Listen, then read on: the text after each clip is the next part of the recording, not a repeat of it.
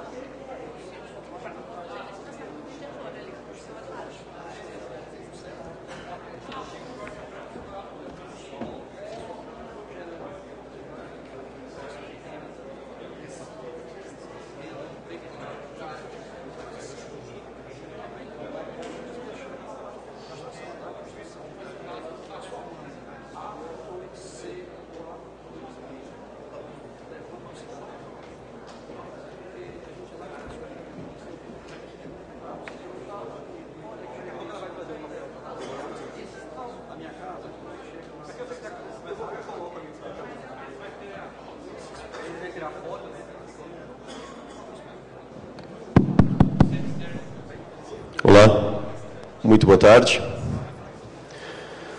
Gostaria de dar as boas-vindas, então, à nossa sessão. É um painel de debates. A organização, a promoção desse painel, é do Conselho das Entidades de Tecnologia da Informação do Estado do Rio Grande do Sul, o SET.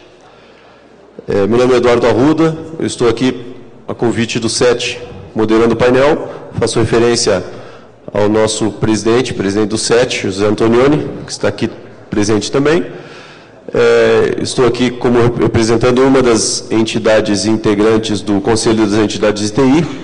É, eu sou vice-presidente de articulação da ACESPRO, da Associação das Empresas de Software, é, e também professor aqui da casa. Eu gostaria de apresentar os nossos debatedores. É, o Américo Tristão Bernardes é diretor do Ministério das Comunicações. Professor Dr. Fabiano Hessel é professor pesquisador aqui da Pontifícia Universidade Católica do Rio Grande do Sul. O Alberto Azevedo é especialista em segurança. E o Paulo Mendonça é, atua no SERPRO como assessor da presidência é, para o Nordeste. É, então, é, desde já vou passar a palavra aqui para o Américo Tristão Bernardes. Solicito então só auxílio ali para que nós carreguemos a primeira apresentação. Já está? Américo, por favor, a palavra é sua. Nós teremos a, a apresentação em cerca de 15 minutos para cada debatedor e após esse período nós abriremos o espaço para debate, para as perguntas. Temos algumas perguntas aqui já previamente elaboradas, vão saciar a curiosidade de alguns de vocês, mas por favor, o painel vai ser tão melhor quanto maior for a participação de vocês.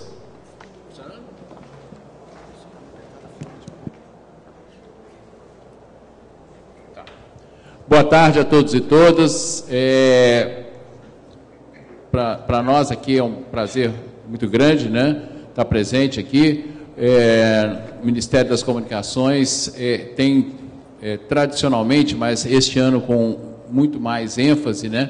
É, apoiado e participado, né? É, o FISLE. nós consideramos que é uma iniciativa de grande importância para o desenvolvimento de conhecimento neste país, né? Então, para nós aqui do Ministério, tá certo? E para mim em particular é um prazer muito grande estar falando aqui.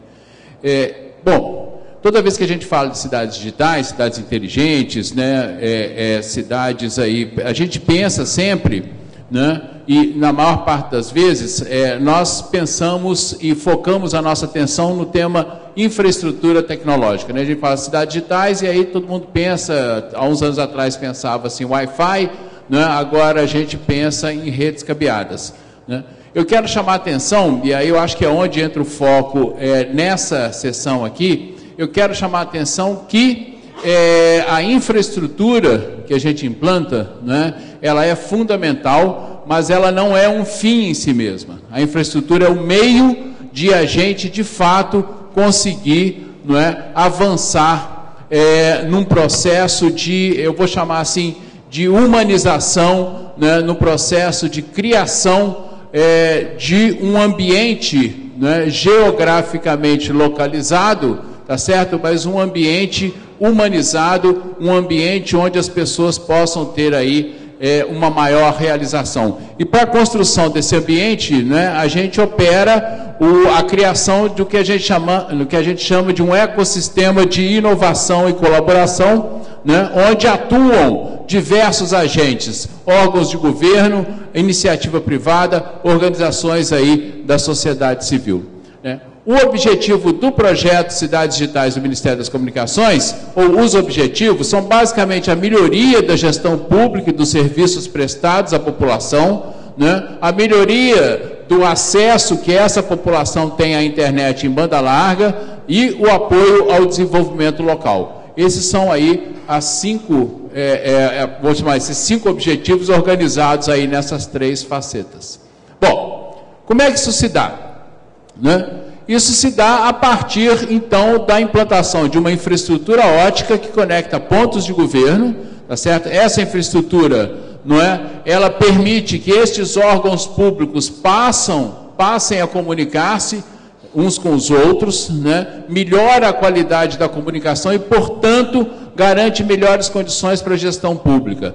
Esse, essa infraestrutura também permite não é, a circulação aí de aplicativos de governo e nós, no nosso projeto, nós disponibilizamos, em princípio, né, para a cidade, é, aplicativos nas áreas de educação, saúde, gestão é, tributária e financeira. Né? Esses aplicativos são hospedados em nuvem, tá certo? Eles são hospedados na nuvem do SERPRO, né? e um elemento central deste projeto né, é a formação de servidores da população, ou seja, tem a infraestrutura como um eixo, tem a questão de conteúdos como um segundo eixo, tem a questão de capacitação e formação como terceiro eixo. Então, como várias das iniciativas de inclusão digital, lá da nossa Secretaria de Inclusão Digital, né, ela sempre trabalha aí nesses três eixos.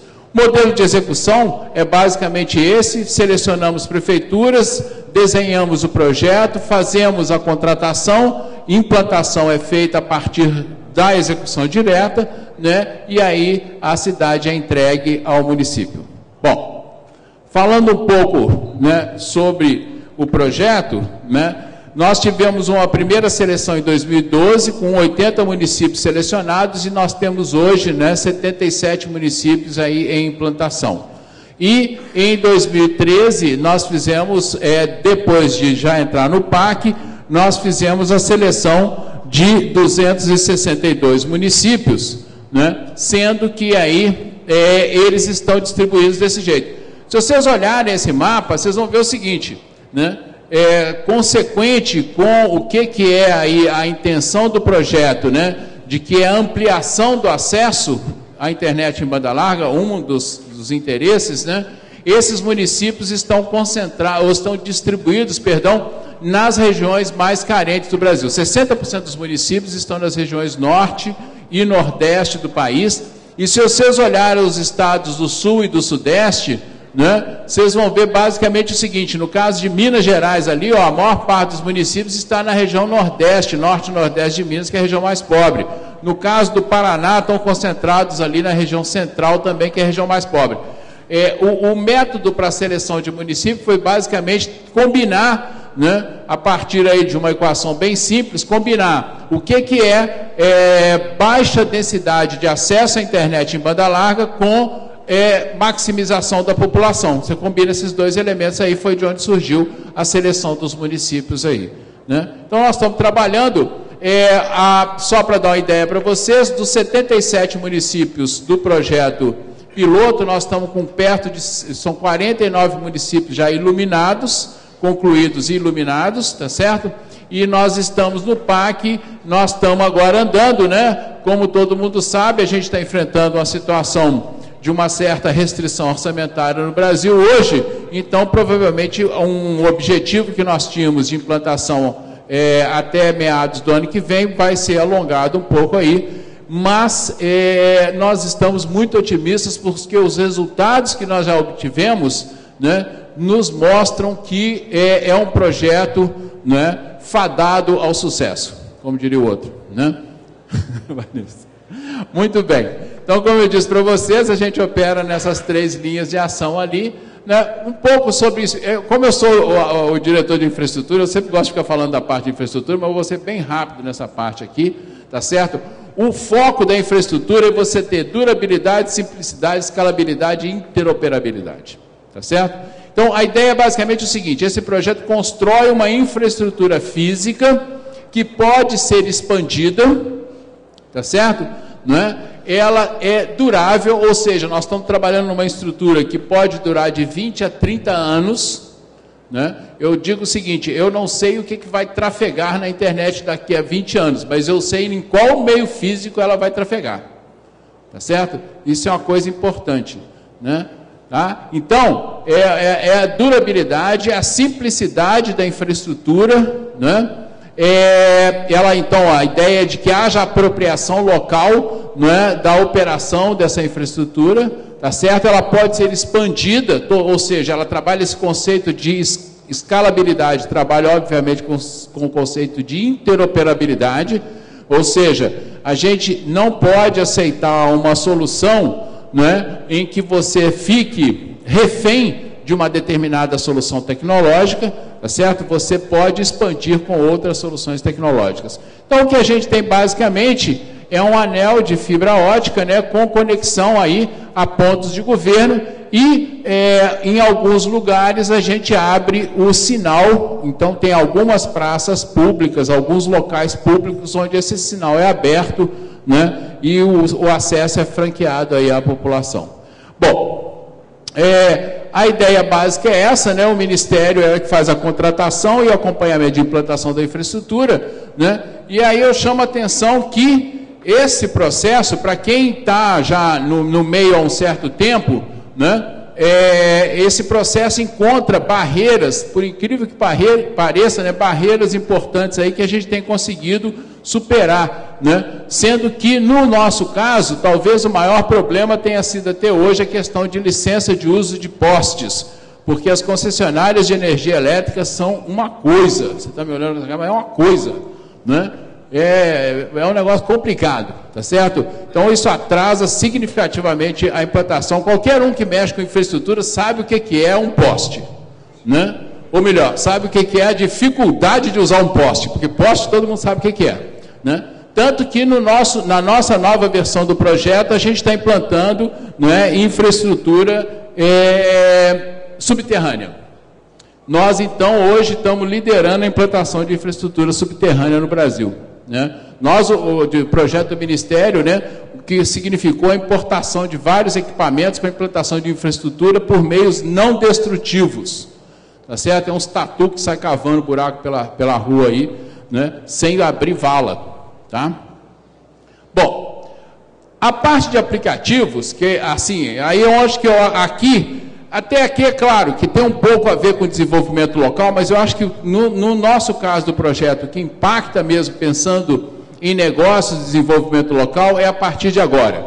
Na parte de aplicativos, né, como eu disse para vocês, a gente está trabalhando basicamente com um conjunto de aplicativos aí, né? E é importante dizer que todos os nossos aplicativos, obviamente, são em software livre e estão é, no portal de software público. Ou seja, se alguma empresa local, né? e aí a gente força, né? a gente tem julgado peso para que aquelas versões que estejam no portal de software público estejam atualizadas, estejam limpas, né?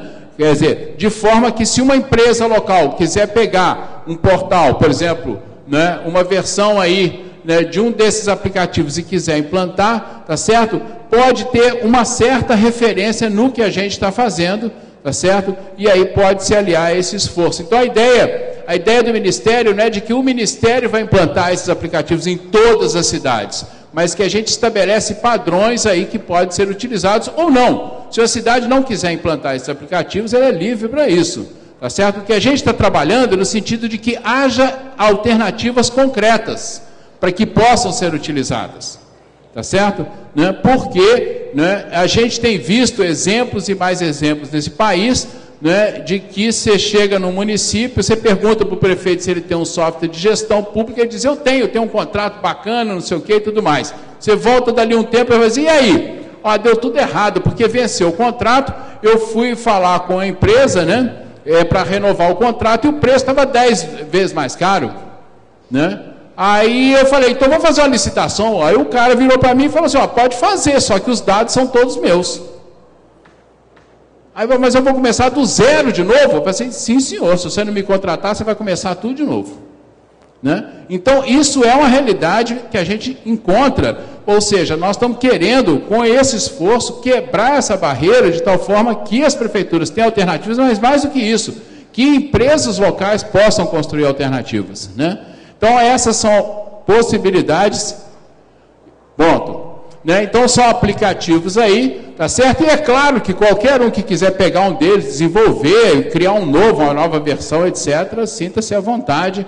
Né? E o último bastião, tá certo? É, que foi aí a, a, que a gente avançou, foi no programa da Controladoria Geral da União, né, que há dois anos atrás tinha desenvolvido uma versão em software proprietário, tá certo? Mas que agora, então, a gente desenvolveu, nós, nós não, né? A Prefeitura de Natal desenvolveu uma versão em software livre do ESIC, que é aí para atender a lei de acesso à informação. Bom, então, primeira, primeira leva aí, né? Que pode permitir né, um avanço importante de negócios nas cidades, não só nas cidades que a gente está implantando, mas em outros municípios, né, é, são aí é, essa questão de aplicativos. Né? A gente está trabalhando na ideia de que esses aí são assim, um, como diria, um esqueletão para começar a brincadeira. Mas é muito mais coisa que pode ser desenvolvido. Né? E eu acredito aí né, que vai ser tratado aí pelos colegas da mesa, né, em particular aqui o professor Fabiano, né, com quem tivemos uma conversa de manhã, vai tratar de um horizonte muito mais amplo do que a gente está conversando, tá certo? Mas não adianta você desenvolver, ceder, difundir aplicativos se você não construir competência local. Né? Nós queremos não só ter usuários de software livre, mas nós queremos é, incentivar desenvolvedores de software livre. Tá certo? E para isso, então, nós precisamos ter ações aí de apropriação tecnológica. Nós estamos falando de apropriação em dois níveis. Primeiro, a gente precisa ter gente que saiba operar aquela estrutura. Tá certo? Então, nós temos um programa de capacitação aí voltado para servidores e gestores, a fim de que seja feita a operação da infraestrutura, sua manutenção, seu acompanhamento. Né?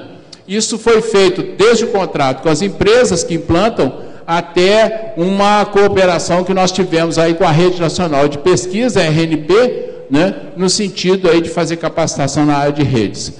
Bom, mas por outro lado, além de operar a rede, né, como eu disse, a gente tem que ter capacidade local de desenvolvimento. Né? E aí, por meio do Pronatec, né, nós estamos desenvolvendo todo um programa de é, capacitação local voltado para a população. E os dados que, que nós temos, né, é, eu acho que faltou um pedaço lá, assim, por algum motivo tem uma desconfiguração, mas não compromete não. Mas se vocês olharem aí, né, nós tivemos aí é, um conjunto de 14 mil, eu não consigo ler lá no canto, 14.700 e poucos. É, quanto que é? 11. 14.711 Tá certo? Se alguém quiser mais informações sobre essa parte, tá a Luanda e o, e o, e o Gustavo aqui, eles estão lá no nosso é, stand, podem dar explicações, informações sobre isso. Eu acho esses números muito é, impressionantes, né? E se vocês olharem, nós estamos com 200, das, das 342 cidades, nós temos ações de capacitação em 225 cidades, né? É, é um volume bastante significativo, né? E, é, e eu acho que são números expressivos, e mais do que isso, eles mostram aí que existe uma demanda significativa por processos de capacitação. Né? Só para esclarecer, dentro do Pronatec, né, todos os cursos são cursos oferecidos via rede de formação tecnológica, institutos federais e, e Senai, não é isso? Para a população. São todos cursos gratuitos que são oferecidos à população. Tá? Então, basicamente, né, Eu falei, então, primeiro, questão dos aplicativos é uma primeira possibilidade de modelo de negócio para cidades digitais. Segundo, a questão aí né, de você construir competência local. Se você vai fazer um investimento, você tem que ter conhecimento, competência local formada.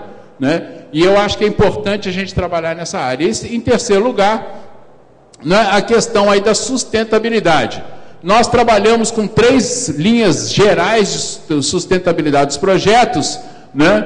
É, a, a, primeira delas né, é a questão de parcerias né, com outros entes, né, é, ou mesmo aí né, com instituições da organização sociedade civil, organizações da sociedade civil. A segunda é a questão do concessão de uso da infraestrutura, então um provedor local pode se interessar né, pelo uso dessa infraestrutura, de tal forma a ampliar o acesso. Então, esse é um meio importante que a gente está discutindo com provedores locais e regionais.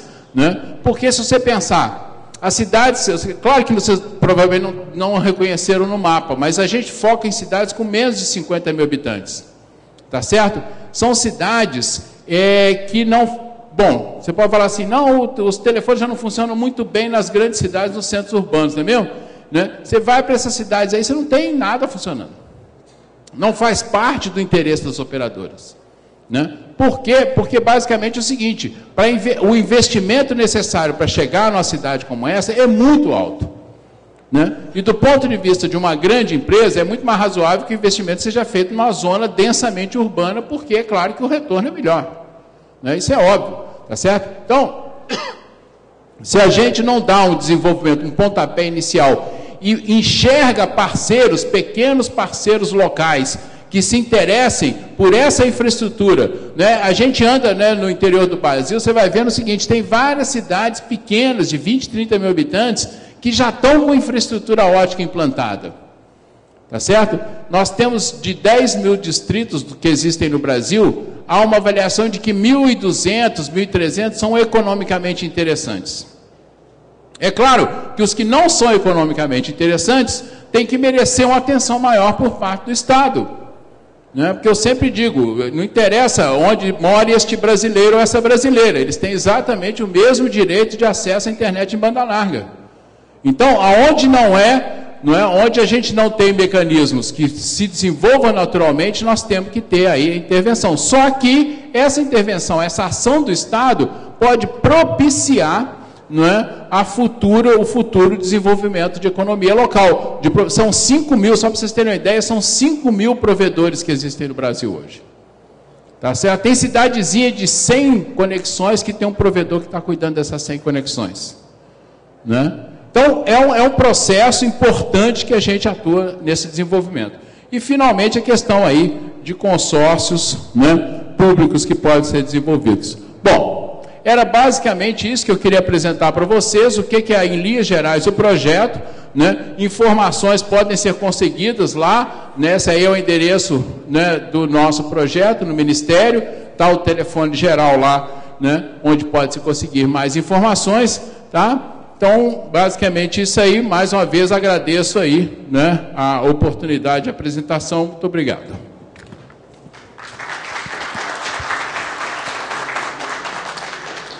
Muito obrigado, Américo. Eu gostaria de passar a palavra de imediato para o professor Fabiano Hessel, professor aqui da, da PUC-RS, e um dos pesquisadores do grupo aí de Internet das Coisas. E vou trocar aqui a nossa apresentação.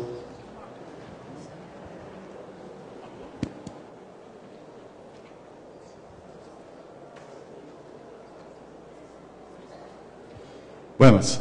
Enquanto eles colocam ali, gostaria de agradecer o convite, mais uma vez, muito obrigado. Uh, eu vou apresentar sobre uma ótica um pouquinho diferente que o Américo mostrou. É, a gente sempre, quando fala em oportunidades de cidades digitais ou de cidades inteligentes, é, a gente sempre pensa assim, qual é o tamanho desse mercado, afinal?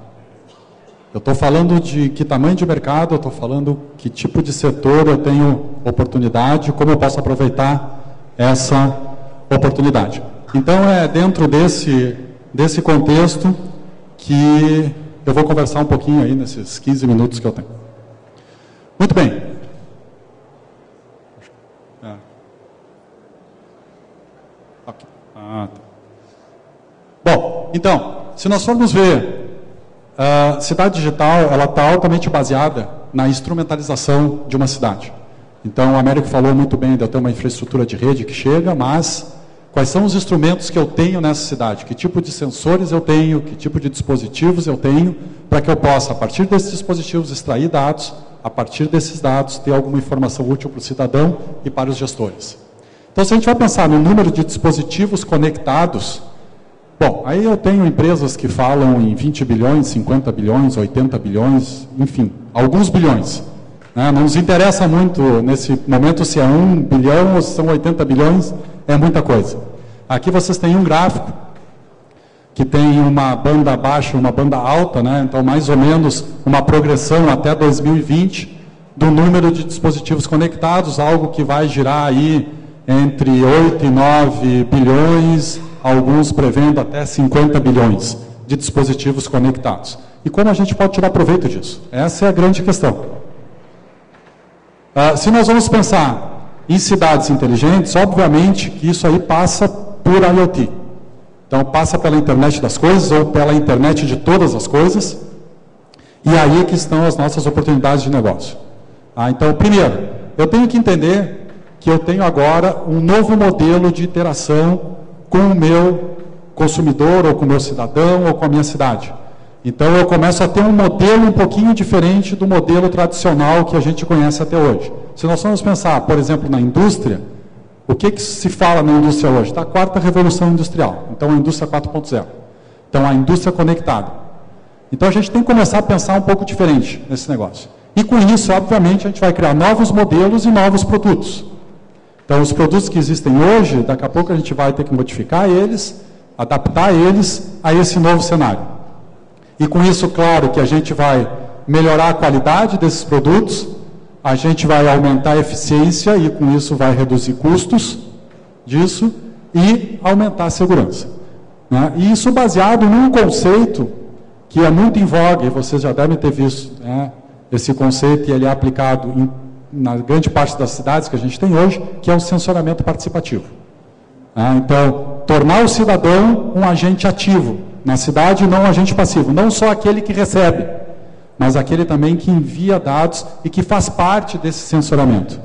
É, eu sempre, eu estava conversando com o pessoal do Centro de Comando e Operação, semana passada, e eles reclamavam muito, poxa, Porto Alegre só tem 1.100 câmeras, nós precisamos de mais câmeras de segurança. É, e a resposta, poxa, vocês têm 1.500, 1 milhão uh, e 500 mil câmeras na cidade. Eles, mas como assim? Poxa, todo mundo tem um smartphone que tem uma câmera. E essa câmera pode virar uma câmera de segurança. Por que não? E o cidadão como agente ativo. Como é que eu habilito isso? Se eu vou pensar, então, numa progressão aí até 2016, ano que vem, nós estamos falando do mercado de mais ou menos 3 trilhões de dólares. Esse é o potencial de mercado no mundo que eu tenho hoje, voltado para cidades inteligentes. Vocês têm uma divisão ali em diferentes setores, né? energia, indústria, serviços da própria cidade, segurança, uh, consumidores de, de, um modo geral, e a fatia desses setores. É, então, se vocês pegam, por exemplo, a parte da indústria, só a indústria 4.0, o quanto de uh, uh, o quanto é esperado em termos financeiros desse mercado até o ano que vem.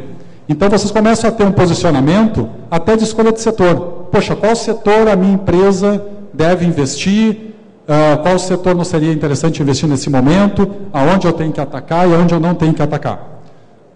Se nós abrirmos, por exemplo, um setor, que é o setor da indústria, os subsetores que eu tenho dentro.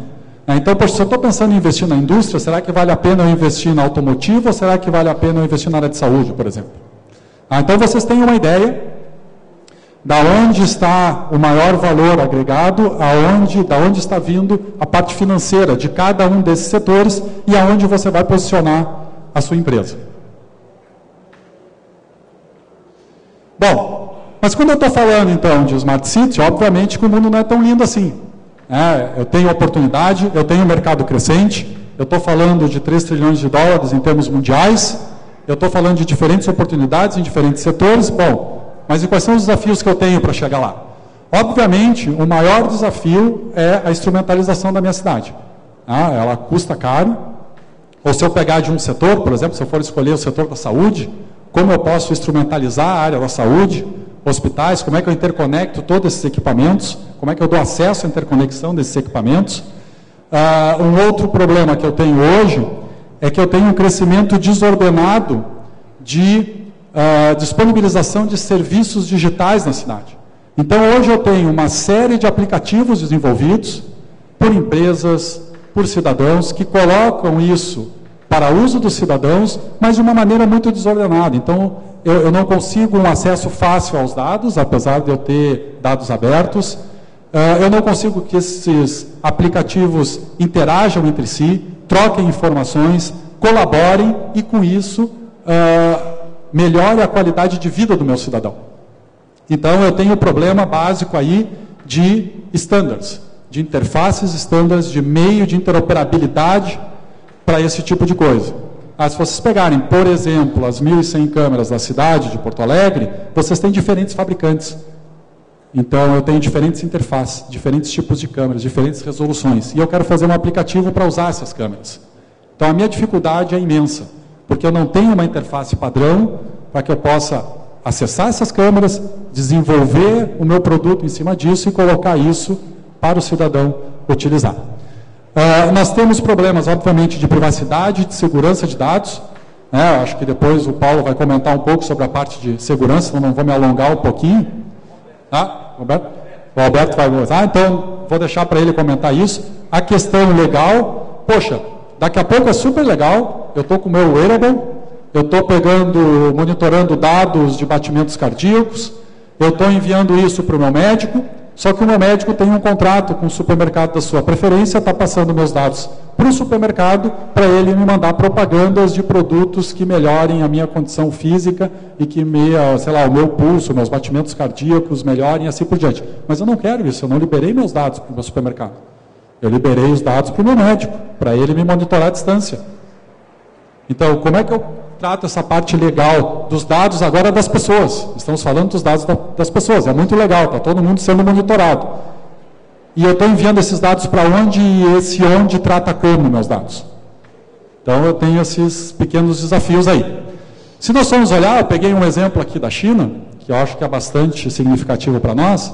Então, como a China se programou para uma cidade digital desde 2012 até 2020, onde então ela pensa aí em capturar em torno de 160 bilhões de dólares. É mais ou menos o que ela imagina. Então, se a gente for olhar o plano nas macrofases que eu tenho, primeiro, o um investimento pesado na parte de infraestrutura, rede, hardware, pesquisa e desenvolvimento nessa área. Um segundo momento, que está terminando esse ano, na parte de plataformas. Então, plataformas para interoperabilidade, plataformas para cidades digitais, plataformas para os diferentes setores, priorizando aplicações e demonstrações de aplicações. E desenvolvendo, então, aplicações e provas de conceito bastante fundamentadas para demonstrar o potencial uso. Para então, até 2020, ela ter a tecnologia madura e que isso então possa ser adotado e escalar isso para o mercado. Eu acho que é um bom exemplo que talvez a gente devesse refletir e ver o que, que a gente pode adaptar para o nosso país.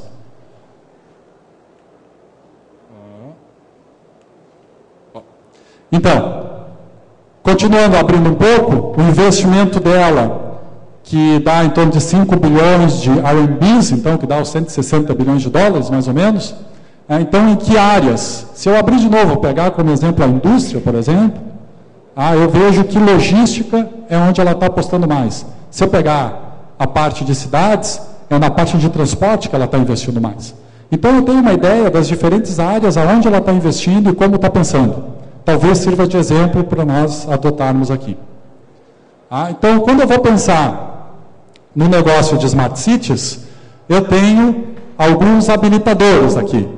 É, então, se eu vou perguntar hoje, a maioria dos empresários, apesar de muitos deles assim, não, a IoT ainda não, é uma tecnologia que não está muito madura, não é uma coisa madura, mas de fato, muitos deles já estão fazendo pequenos projetos pilotos com a IoT com cidades conectadas e vendo como isso se desenvolve e quais são as oportunidades de negócio que eu tenho.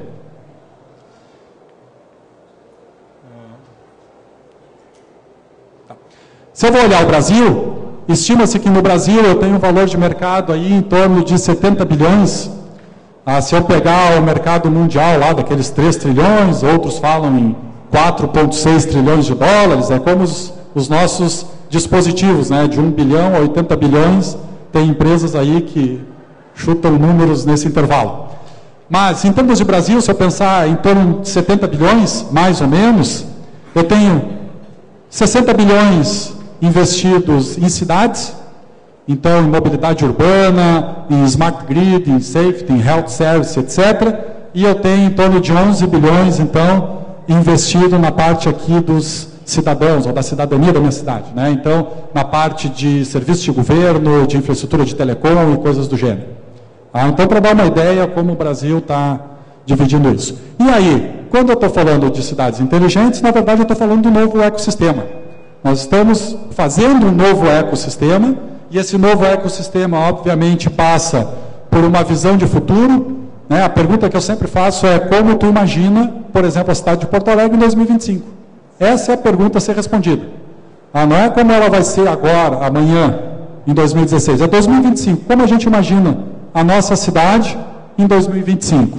Bom, e aí a gente tem que começar a conversar com iniciativas abertas de estandarização de protocolos, de comunicação, de interfaces, e a gente tem que começar a falar em algum tipo de regulamentação, acho que o Américo falou alguma coisa sobre isso, em parcerias público-privadas e pessoas, a gente só fala público-privada pensando em empresa, governo, mas e pessoas nisso, e aí isso fazendo um novo ecossistema.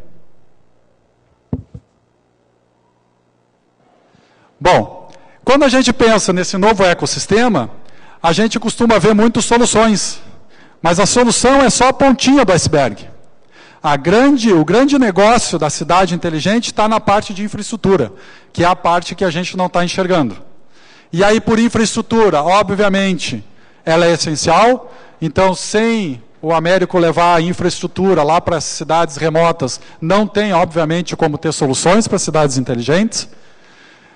Eu preciso, claro, de aplicações, cada indústria vai ter a sua aplicação e ela vai ser específica para um determinado setor, não tem a killer application, não vai ter a killer application.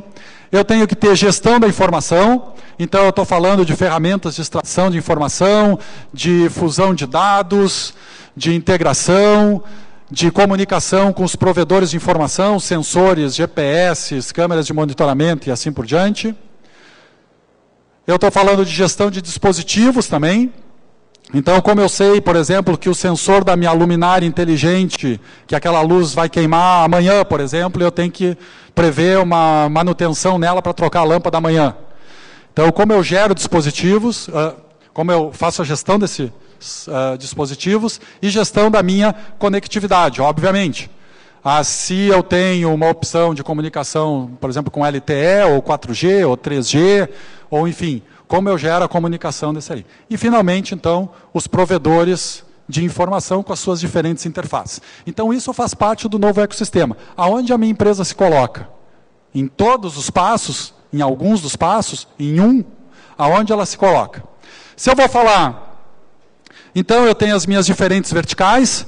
Hoje, as indústrias que se colocam em cada uma das verticais estão tentando estabelecer padrões para interoperabilidade. Então, por exemplo, a indústria automotiva está tentando fazer isso numa iniciativa da Fiat, que eu acho excelente, ali em Betim, do carro conectado, e eles estão tentando falar com as outras montadoras no país para eles poderem trocar dados. Por que, que um carro da montadora A não pode falar com um carro da montadora B? Por exemplo, avisar que tem um acidente, ou avisar que tá, a, a rua está uh, congestionada, ele passou por um buraco, por exemplo, e avisar o carro que está vindo em sentido contrário. Então, para que isso aconteça, obviamente, eu preciso de interoperabilidade. Então, se vocês pegarem a segunda flecha de baixo para cima, tem ali sistemas operacionais. Então, a faixa de interoperabilidade é extremamente importante, junto com a interoperabilidade dos protocolos de comunicação, das interfaces de programação, né, e a regulamentação para tudo isso. Para que eu consiga, na verdade, hoje o grande desafio é a interoperabilidade horizontal que eu tenho. Então, se hoje eu quero acessar, por exemplo, um dado que está vindo da área da saúde, que eu preciso conectar com a companhia de energia elétrica, que eu preciso conectar isso com uma câmera de vídeo monitoramento, eu preciso da interoperabilidade horizontal. O carinha aqui me mata. Ah. Consegue voltar um para mim? Bom, e para isso então, para concluir, é que o meu tempo está estourando, para concluir, pô, e tá bom. E o GSE, que é o Grupo de Sistemas Embarcados, agora é propaganda, né? Que é o meu grupo de pesquisa. Onde é que nós nos colocamos nesse negócio? É um negócio bom, mas para aí, tia. Eu preciso, na verdade, é dessa interoperabilidade horizontal. Então a gente trabalha em cima de um conceito que é o conceito de sistema operacional da cidade. Então é como se eu tivesse um sistema operacional que eu faço deploy na cidade, ele tem APIs conhecidas, públicas, abertas, onde as diferentes empresas, os diferentes atores, as diferentes APLs, o cidadão, eu posso fomentar a indústria local, as empresas locais, a gurizada criando startups e desenvolvendo para cima disso numa plataforma aberta com as APIs expostas exatamente como se fosse um sistema operacional. Como se eu pegasse uma distribuição do Linux, por exemplo, e fizesse isso no deploy na minha cidade. E em cima disso todos podem cooperar, todos podem interoperar. Então essa é a proposta, onde eu tenho os diferentes setores da cidade embaixo, por exemplo, água e esgoto, iluminação, o, o trânsito, e as diferentes verticais são os diferentes blocos verdes que eu tenho, onde eu tenho os aplicativos na parte de cima com aquela API amarela aberta. Obviamente eu consigo interconectar sistemas legados. Então nada impede que eu tenha, por exemplo, um sistema legado onde eu posso encapsular nessa API aberta e interconectar com o resto do meu sistema. Então, uh, isso é o que nós acreditamos que seria a maneira de fomentar a indústria local e que ela pudesse aproveitar das oportunidades em termos de cidades inteligentes, interoperando, integrando uh, na horizontal. Obrigado. Obrigado, professor Fabiano. Gostaria agora de convidar o Paulo Mendonça, do SERPRO, para fazer a sua exposição. Aqui. Para baixo, passa para frente e para cima.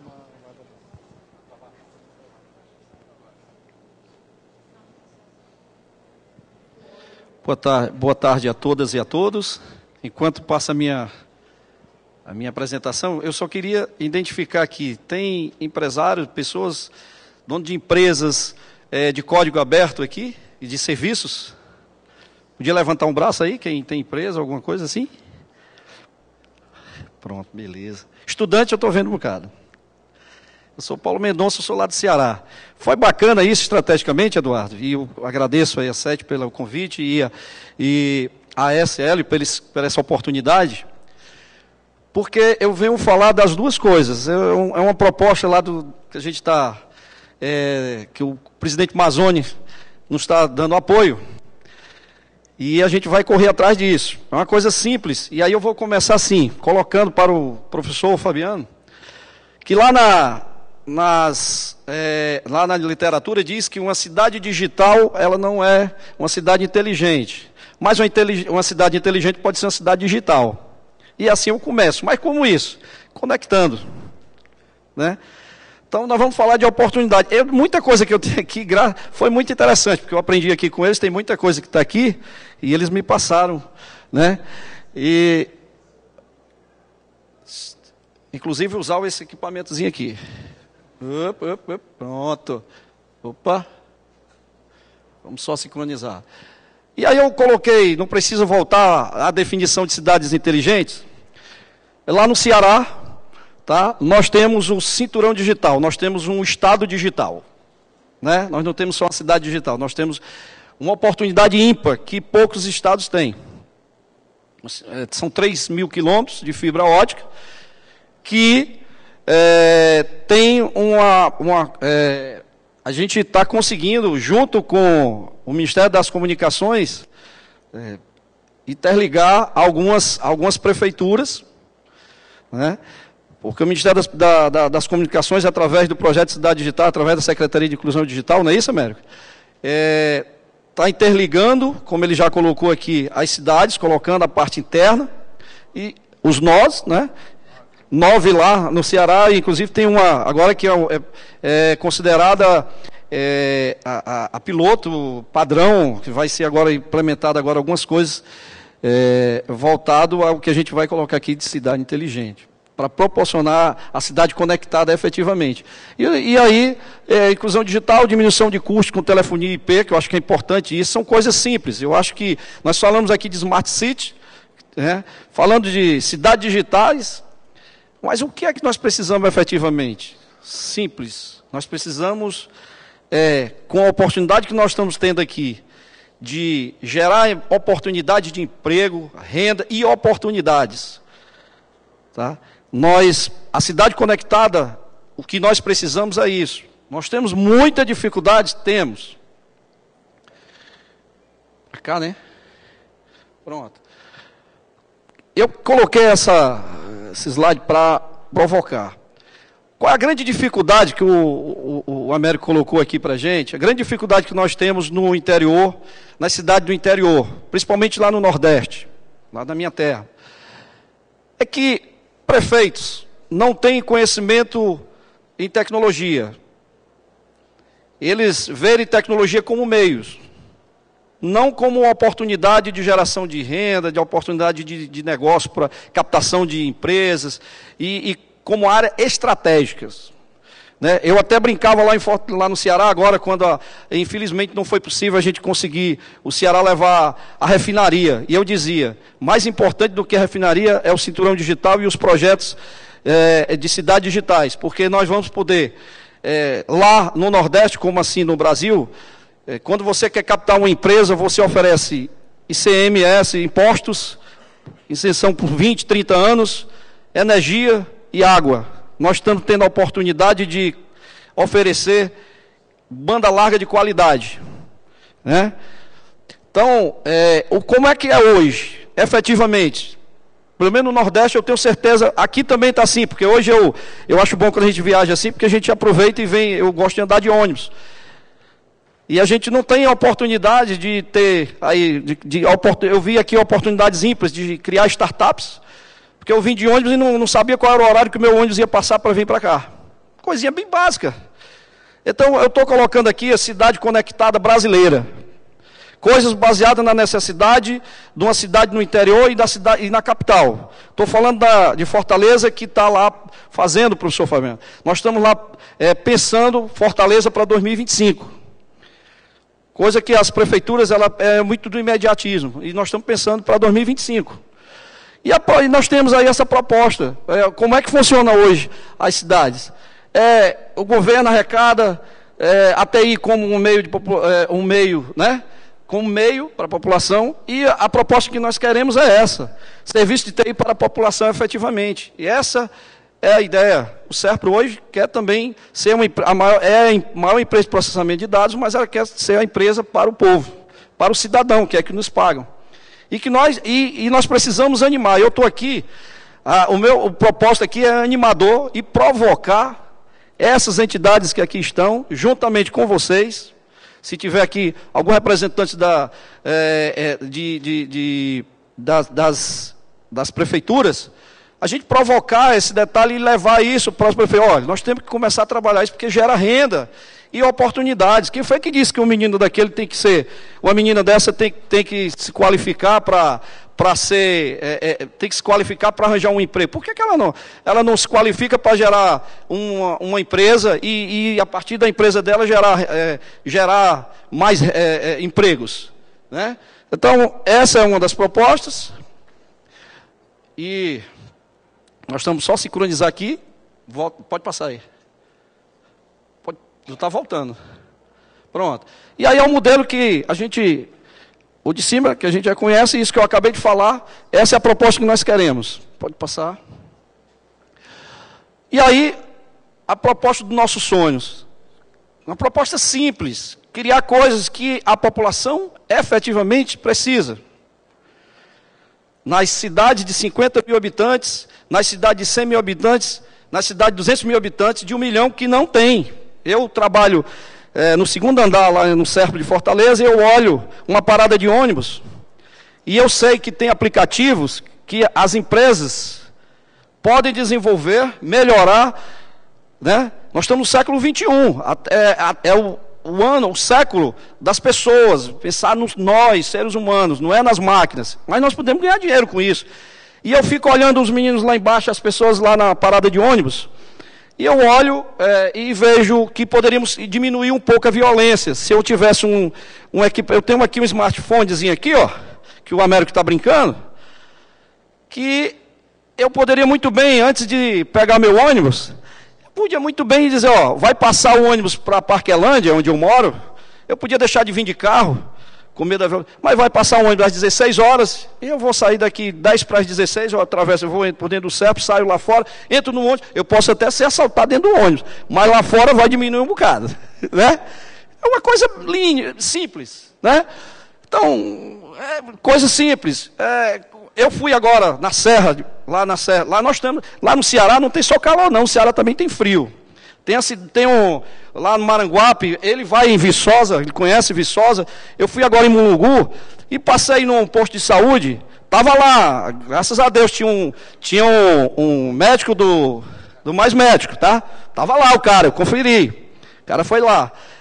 Mas eu via as, as senhorinhas que assistiam a missa, estava com eles lá no domingo assistindo a missa, fui muito bem recebido por eles lá, mas eu vi essa senhora, eu disse, ó, oh, quer uma caroninha? Ah, eu estou indo aqui no posto, é aqui pertinho. Pô, o posto era longe pra caramba, mas ela foi caminhando, eu queria caminhar. Mas ela podia ter marcado isso, e eu vi lá gente com celular, como o Américo disse, só, eu posso citar aqui propaganda, só tinha ti lá, as outras não funcionam, e você tem que ir para outro lado.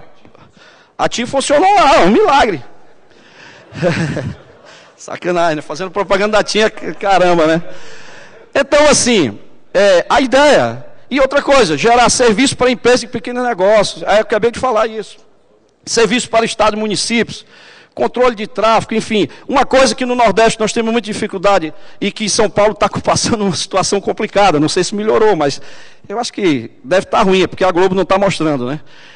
É, gestão de reservatório de água. O Ceará hoje é, é referência no Brasil.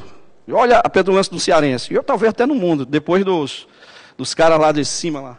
Já cinco minutos, não, isso é sacanagem, esse cara teve mais tempo. Então, eu vou passar, então, promovendo, a gente pode promover economia, qualidade de vida e infraestrutura. Vamos passar. Então, é, aonde tem software, já foi colocado aqui, portal do software público. É, pegar os produtos, colocar é, gerar, a partir do portal do software público, nós podemos fazer essa, essa, é, essa, cidade, essa cidade conectada. Pode passar, peraí. Passei. E aí, nós temos alguns exemplos da questão que a gente colocou lá, A2B, A2C. O SERPRO tem um case de sucesso, que é o Cinesp, Cidadão. Está lá.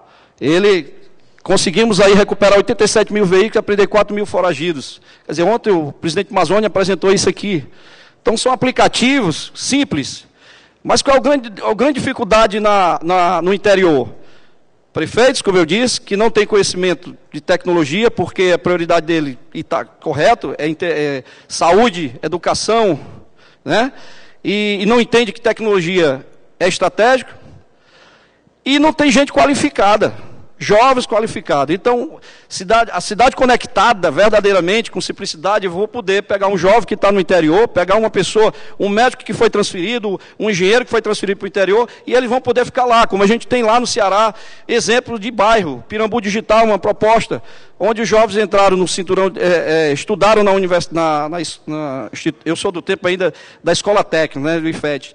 Então, é, estudaram lá e em vez de ir para Aldeota, que é um bairro chique, lá trabalhar lá, eles voltaram para a comunidade, criaram uma cooperativa e estão ganhando dinheiro. É...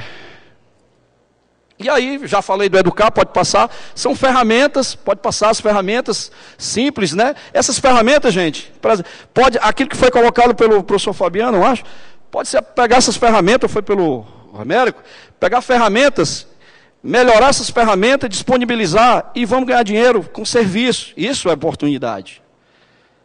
Essa é a oportunidade. Vamos, vamos passando. E são ferramentas simples. Olha, essa, o, o, o JAD, ela é uma, é uma, ferramenta de comunicação de pessoas. Foi usado lá na África, na, na, lá no, no, no, nessa nessa questão do ebola lá, né? Então, é, é, foi usado muito para se comunicar onde tinha, as comunidades se comunicavam para saber onde tinha pessoas com, com, com problemas de, de, do ebola, com sintomas.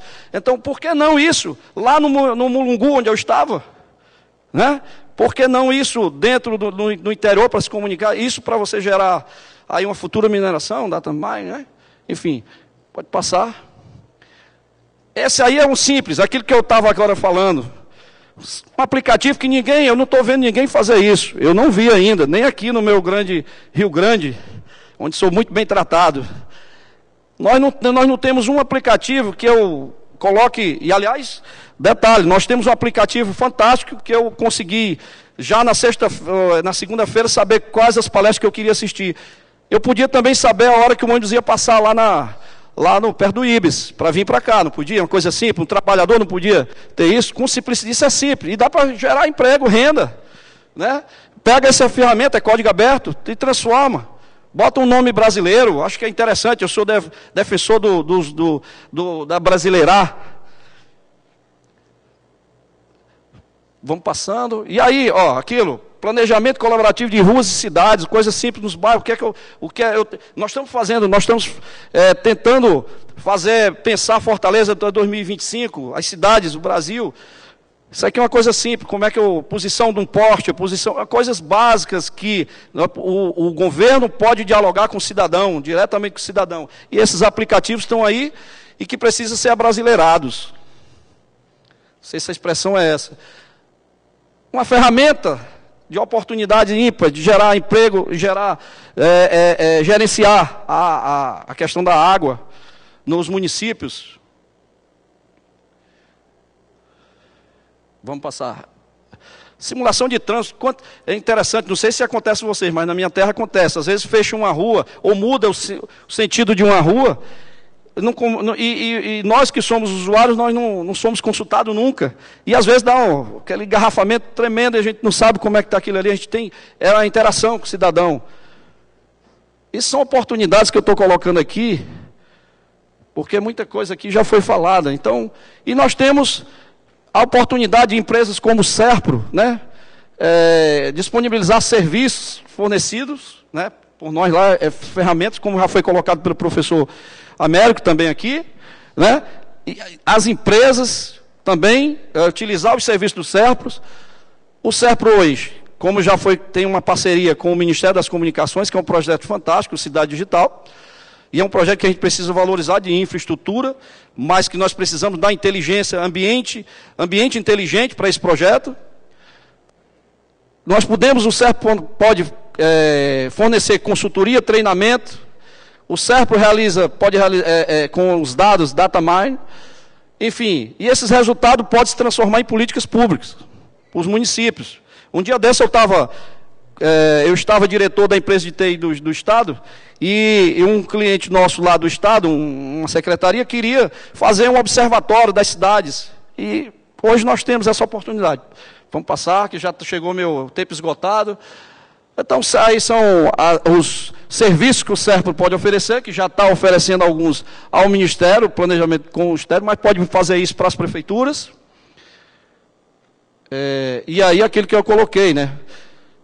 Podemos criar uma cadeia produtiva de desenvolvimento de software, promover a criação de startups, gerando oportunidade, emprego e renda.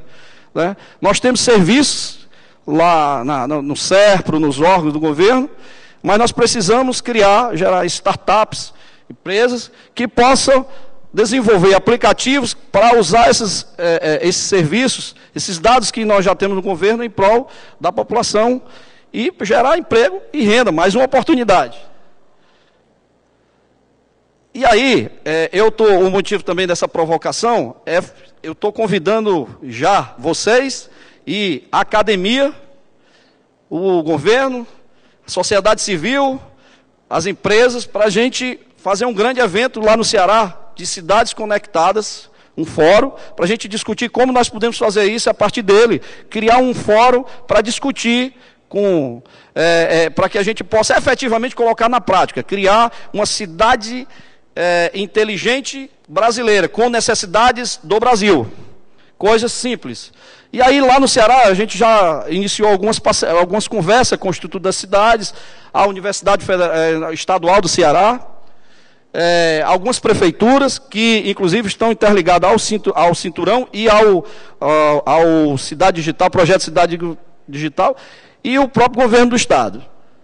E para finalizar, né, eu coloquei, hoje o menino disse, pô, mas tu é muito otimista. Sou, porque eu sou otimista e gosto de sonhar. Então eu peguei esse camarada aí que, lá do cafezinho, lá do café, né?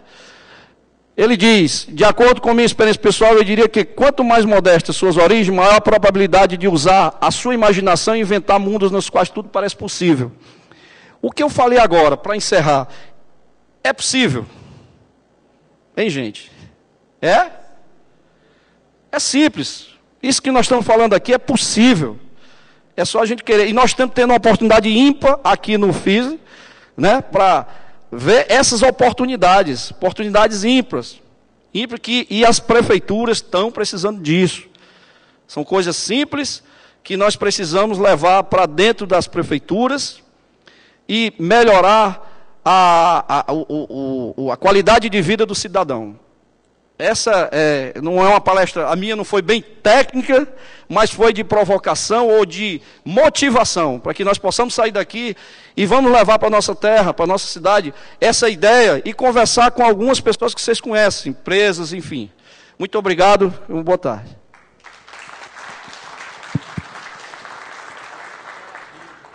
É... Obrigado, Paulo. Gostaria de convidar então o Alberto Azevedo para suas colocações.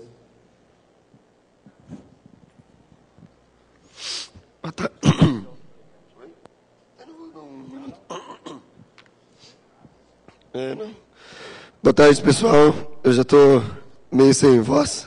Vi muita conversa, muito, muito bate-papo no evento, mas eu vou tentar falar o mais alto possível para vocês entenderem. É, eu vim aqui para fazer o papel do chato. O papel do cara que vai vir assim, não destruir os sonhos, mas para alertá-los de algumas coisas importantes para que vocês conquistem os sonhos da maneira correta. Eu sempre fui, desde que eu me entendo por gente, eu fui sempre um admirador da tecnologia e do que ela pode fazer pelo ser humano. Para mim é fascinante, por exemplo, que quando eu, eu fazia os meus trabalhos de escola, eu fazia com uma, uma baita de uma, uma, de uma enciclopédia gigante que eu sentava em cima da, da, botava em cima da mesa, sentava lá, copiava, não sei o quê. Meu filho hoje faz trabalho de escola deitado na cama dele, no tablet, pesquisando no Google, na Wikipedia e digitando ali mesmo. Então, assim, os tempos foram mudando, a, a, a evolução veio, trouxe coisas, inovações incríveis, mas junto com essas inovações incríveis, eles, elas trouxeram perigos. Então, assim, aí beleza, agora nós, estamos, nós tivemos o primeiro boom, que foi esse boom da internet, das conexões e coisa e tal, e agora estamos vivendo um segundo boom, que é quando a gente está querendo pegar e digitalizar e fazer com que tudo ao nosso redor, todo o nosso mundo esteja interconectado. A gente quer poder mandar um SMS para a nossa cafeteira, para que quando a gente chega em casa o café esteja pronto. A gente quer que os nossos carros dirijam sozinhos, que a gente quer interconectar todos, toda a nossa, a nossa vida seja toda, totalmente é, disponível online e com a maior facilidade possível. O grande problema, gente, é que, eu, é, por isso que eu, eu digo assim que eu vim fazer o papel do chato. Não é que a segurança seja inimiga da inovação, mas é que se você não tomar cuidado com a segurança, você vai se tornar refém da sua própria funcionalidade. Então, assim, me assusta muito quando eu escuto assim, a gente, as pessoas falando assim, ah, vamos. Eu, na verdade, assim, eu acho a ideia ótima. Oh, que legal. Então vamos pegar, e nós temos lá nos equipamentos na, na, na parte de saúde, nós temos, podemos, vamos pegar e vamos tornar é, digital e vamos deixar conectado com que o, o, o marca-passo o médico possa acessar, possa fazer a regulagem desse aparelho, desse aparelho a checagem se ele está funcionando direitinho e é, ficar mais fácil para a pessoa não ter que ficar se deslocando até o hospital. Ou isso também pode acontecer também com um, com esses equipamentos de insulina e coisa e tal. A partir do momento que você bota um aparelho desses na internet, que a pessoa pode acessar remotamente, você está transformando um hacker num possível assassino. O cara pode matar uma pessoa. Por quê? Porque ele pode simplesmente, se ele conseguir acesso a esses, a esses equipamentos que estão da internet das coisas, o cara pode matar a pessoa. Literalmente, não estou não tô exagerando, não estou botando medo em vocês, é fato.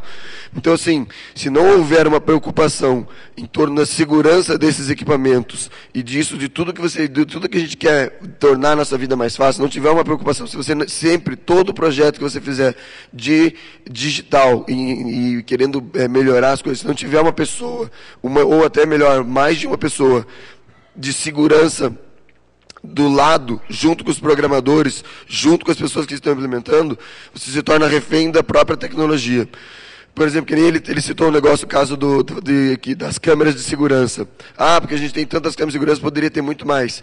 Na verdade, informalmente, isso já foi feito.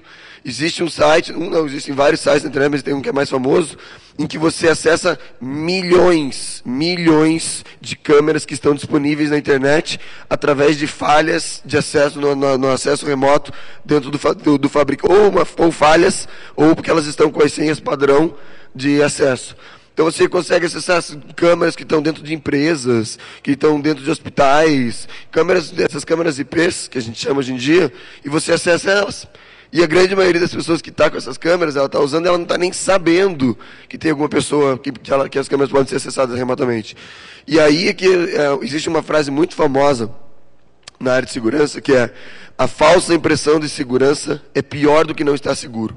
Quando você não tem noção do que, que pode acontecer, você tem aquela. você fica tranquilo, não eu tô, tô seguro, tá tudo beleza. Você, porque você não sabe, você não tem noção do perigo que você está correndo. Aí de repente você descobre que o, que, que o risco que você estava correndo, você se desespera. Então, o que a gente tem que fazer é assim, vamos inovar, vamos inovar, vamos, vamos conectar cada vez mais as coisas, vamos conectar cada vez mais as coisas, mas vamos fazer isso levando em conta a, o aspecto da segurança.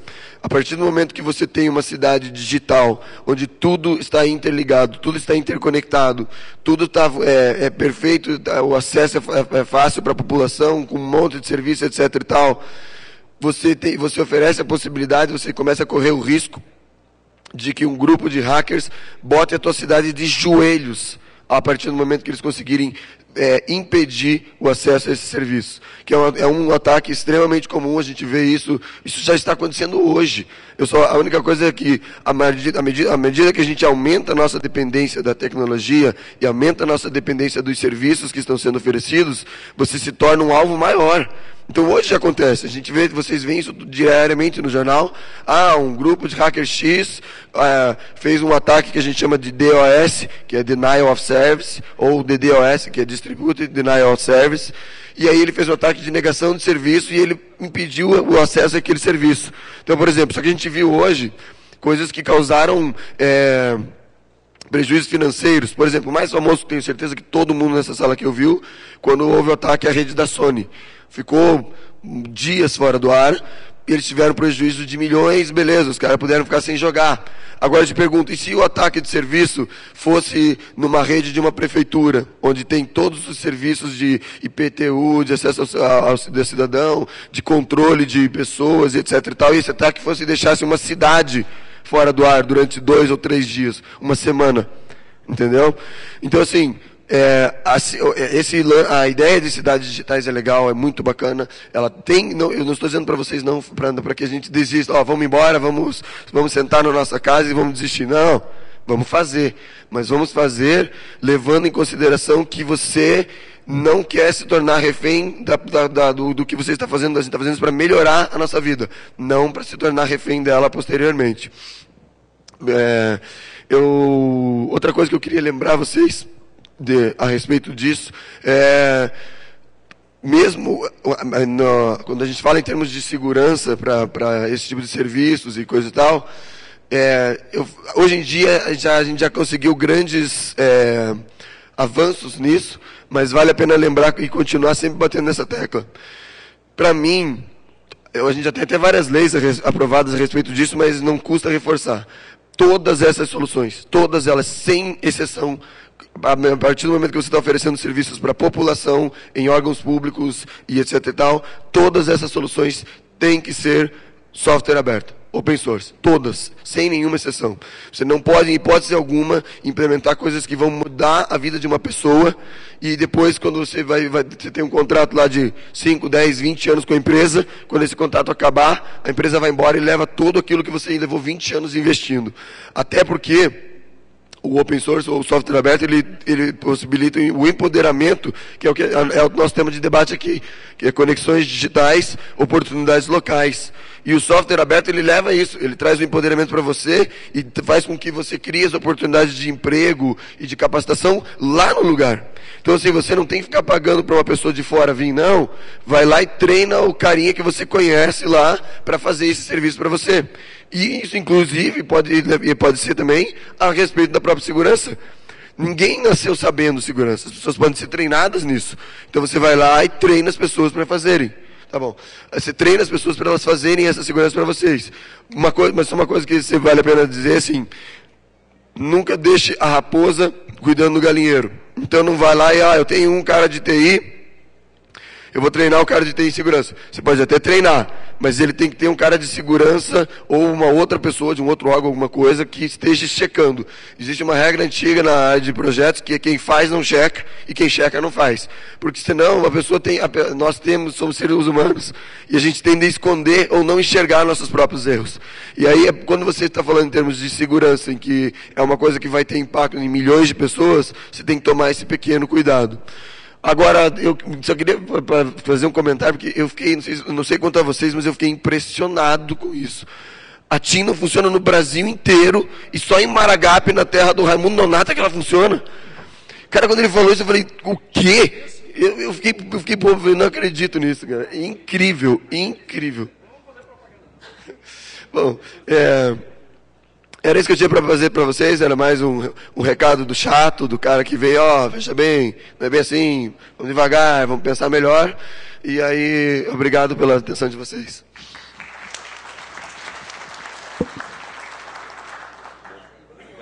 Obrigado, Alberto. Nós passamos então a nossa nosso momento aqui de, de debates. É, eu tenho, eu vou usar da prerrogativa aqui do, de, de, moderador, vou fazer a primeira, tá? Se vocês não se importam, eu já faço isso a, a, seguir para vocês aqui, que foi uma pergunta que a gente a, eh, pensou quando estava organizando ali o, o, o painel, tá? É, nós temos aqui dois representantes de órgãos de governo, um representante da academia, um representante da, de, de, de, empresas, de, né, de TI, da sociedade civil, enfim. É, cidades digitais, smart cities, ou como vocês quiserem denominar o conceito, elas representam inegavelmente uma grande oportunidade para toda a sociedade. Tá? Nós temos, em 2001, se começou a, a, a, a, tentar padronizar um pouco da compreensão do que deveria ser governo eletrônico. Então, a própria uma das, uma das comissões da, da, das Nações Unidas ela, ela definiu que governo eletrônico poderia ser qualificado em cinco estágios, sendo que o último estágio, o quinto estágio, era o estágio da, do governo imperceptível. Ninguém percebe que o governo está ali. Ele, a relação com ele é tão natural, é tão tranquila que ninguém, ninguém sabe que ele está ali, mas ele está ali te apoiando, te ajudando a resolver teus problemas, etc. E tu não precisa saber se tem um buraco na tua rua, a que órgão tu tem que recorrer porque o governo, que tem responsabilidade de, é, ciente daquele problema, encaminhar para o órgão adequado. É, uma outra visão disso aí, já é uma decorrência disso, já é um artigo também da, dessa comissão lá em 2010, fala em e-sociedade. É talvez a primeira oportunidade na história da humanidade em que o governo tem condições de efetivamente entregar o protagonismo para a sociedade. Então, é, a minha pergunta vai, no, vai exatamente nesse debate aqui. Qual o papel do governo? O Américo já tocou nesse assunto. Qual o papel da academia e qual o papel das empresas na realização desse potencial, que é um potencial de agregação de valor. E quando eu falo valor, não é só ganhar dinheiro com isso, é agregar também bem-estar, felicidade e tal para o cidadão. Como é que essas, esses três entes, governo, academia e empresas, devem cooperar para que isso se realize?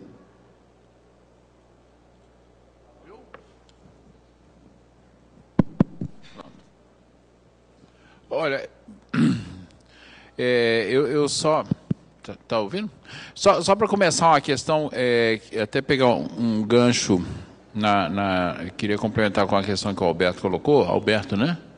É, isso é um tema central que a gente tem preocupado, essa questão da segurança, e a gente tem, eu posso dizer assim, que ninguém entenda isso como um desafio, porque eu sei que tem pessoas aqui que adoram desafios, então não entendam como um desafio, mas até hoje ninguém conseguiu passar dos nossos roteadores de borda, e a gente já teve várias tentativas de invasão dentro das cidades digitais nossas, e até hoje ninguém conseguiu.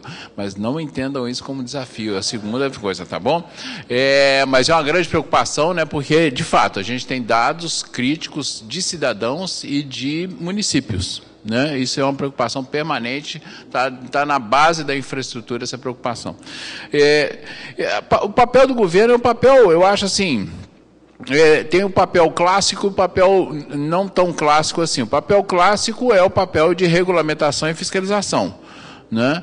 É, e, e, eu diria que é o papel que, que, se espera que todo governo faça. Né? É, do papel Bom, tem a, a, parte de certificação também, que em geral não é feito pelo governo, mas por terceiras partes aí que, que se apoiam em, em ações do governo. Né? No caso de um país como o Brasil, é, eu acho que a gente tem um papel importante no sentido de startar processos que, sem a ação do governo, não seriam startados. Né? Um papel de indução. Né? E, e, às vezes, até um papel de execução naqueles lugares onde, onde não tem como, não tem como acontecer, você vai lá e executa. Eu acho, por exemplo, o projeto de cidades digitais que nós estamos executando, nós estamos fazendo aonde ninguém vai fazer. Mas a partir da nossa ação, você começa a ter um processo de agregação. Eu estava brincando, né? Uma das cidades que nós implantamos não tinha agência bancária. A partir da implantação da infraestrutura na cidade, passou a ter uma agência bancária. O banco foi lá, então o Banco do Brasil foi lá e criou uma agência na cidade. Né? Então, então, assim, coisas bem é, primárias acontecem por aí. Então, eu acho que tem isso, a regulamentação, certificação, fiscalização, que são papéis clássicos do governo, né? a indução, né, ou mesmo a execução naqueles lugares, né, a construção de padrões, de padronizações. Né? Eu estava vendo aqui, é, olhando as fotos que chegaram agora, né, de máquinas, como eu disse para você, de máquinas de construção de infraestrutura subterrânea que até então no Brasil é só fibra aérea quase que a gente vê, nessa né? coisa horrorosa, você vê esses postes aí que você não acredita, tá certo? Eu acho que aquilo é um desafio à física e à engenharia, como é que consegue um poste suportar tanto fio e fibra como está suportando, né? Então, é um negócio fora, não vou nem entrar na parte do urbanismo, que é uma coisa horrorosa as nossas cidades, né? São muito feias, né? Então, nós estamos induzindo a entrada de maquinário, tá certo? Para a construção de infraestrutura. E a maior parte das cidades, as grandes cidades, já não permitem. Então, o que acontece? A grande cidade não permite que faça fibra subterrânea. Bom, e daí? Né? Você tem que não permitir de um lado, mas você tem que criar as possibilidades do outro. Eu acho que quando a gente implanta um projeto que, que em torno de 5 mil quilômetros serão implantados de fibra subterrânea, você está induzindo aí uma empresa fala, bom, eu tenho um contrato de 5 mil quilômetros de fibra, dá para importar umas máquinas aí, e aí vai indo. Então ela já está sendo contratada por empresas de telecom, pela Telebrás, por não sei o quê. Eu acho que o papel do governo é múltiplo, mas eu quero acentuar uma coisa. O papel do governo só se completa se ele se articula com a academia e com a iniciativa privada. Tá certo? Ele não é capaz e não será capaz de realizar completamente a tarefa se não se articular com a academia, né? porque da academia vem um conhecimento, a iniciativa privada ela é essencialmente conservadora. Tá certo? Ela não se arrisca. E aí eu tenho, tenho um livro de uma, de uma economista italiana que, de, que vive na Inglaterra, né? Mariana Mazzucato, que mostra claramente isso. A iniciativa privada, ela é, em geral, conservadora, né? ela vai, tá certo? mas o grande papel de iniciativa de vanguarda está na academia e em algumas agências de governo né, que faz essa indução. Né? Então, e agora, é onde vai ser feita a execução. Né? Então, eu acho que essa, esse tripé, o que a gente chama desse ecossistema de inovação e colaboração ou cooperação, né, ele é fundamental aí para que qualquer iniciativa possa bem, ser bem sucedida.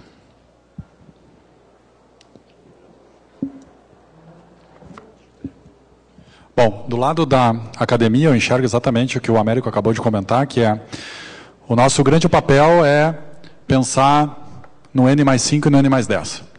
Então, uh, quando eu comentei assim do que, a gente espera da nossa cidade para 2025, esse eu vejo muito bem o papel da academia e dos grupos de pesquisa, pensando em tecnologias, em soluções que podem vir a ser aplicadas no mercado, muitas não, porque os resultados não vão permitir isso, mas a gente está pensando para daqui a 5 e daqui a 10 anos. O que, que pode acontecer? É, se eu pegar o exemplo por lá do que o Paulo falou, do, do ah, eu tenho um aplicativo para saber o meu horário do ônibus, eu vejo isso tipicamente uma iniciativa da, da, da, das, das, empresas, que é uma iniciativa que está acontecendo hoje. É, agora, a partir do momento que, por exemplo, eu posso pegar esse mesmo aplicativo, combinar com o GPS, a partir disso eu usar algum tipo de modelo matemático para saber quantos por cento um determinado ônibus está ocupado, que tipo de linha esse pedestre está fazendo, esse cidadão está fazendo, e como é que eu posso ajudar ele na mobilidade urbana, baseado num modelo matemático, talvez eu esteja pensando no N mais 5. Ah, então, uh, não é uma coisa que a indústria vai colocar amanhã no mercado, mas possivelmente daqui a cinco anos ou menos que isso, eu tenho algumas indústrias interessadas nesse tipo de coisa se os resultados forem bons. Tá? Uh, obviamente que o governo nos apoia muito, mas, aí discordando um pouquinho do, do, do Américo, existem muitas empresas que acabam nos apoiando nesse tipo de, de estudo.